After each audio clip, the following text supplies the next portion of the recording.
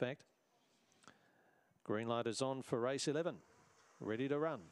Lures rolling now. Set and away. Laughing Panther stepped nicely. The reserve got the fly though. That's Jumbuck uh, Damien worked hard, got around to take the lead too. Gazing Kalinda, El Crimpador going through into his Baratos, winding up centre field. Summit and Karen trying to make up ground. Then Stella Career, Laughing Panther drop back.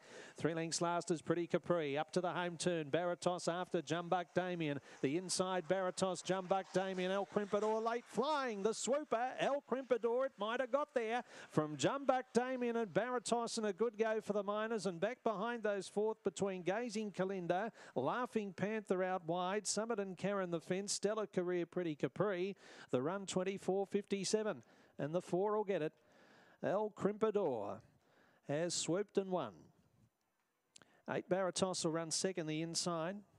Ten Jumbuck Damien's run a bottler into third at big odds.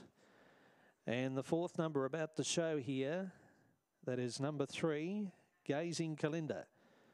4, 8, 10 and 3 the numbers. 4, 8, 10 and 3